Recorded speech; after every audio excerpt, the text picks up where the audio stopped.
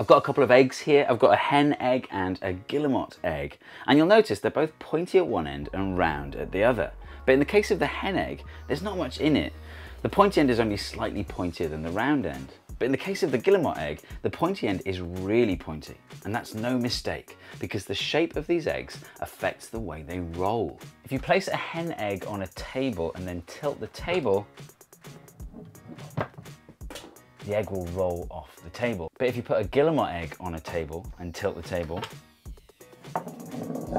it survives.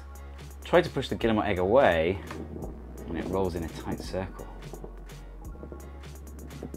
So an object that's pointy at one end and round at the other doesn't roll along a straight path. It rolls around a curve.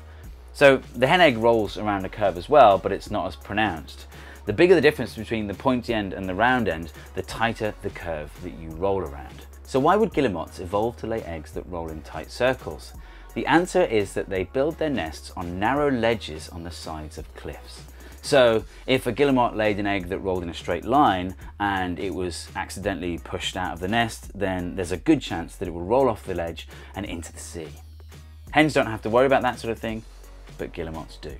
And this is a brilliant example of evolution at work.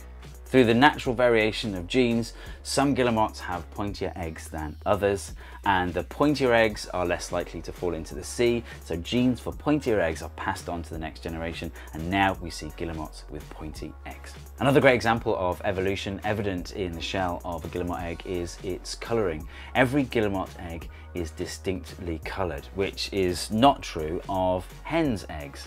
Hens, or at least I guess their wild ancestors would build their nests at a distance from each other.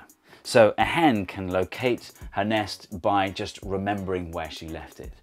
Whereas guillemots build their nests in dense colonies, meaning that if a guillemot tried to locate her brood by location alone, she may end up incubating her neighbour's eggs, which is no good.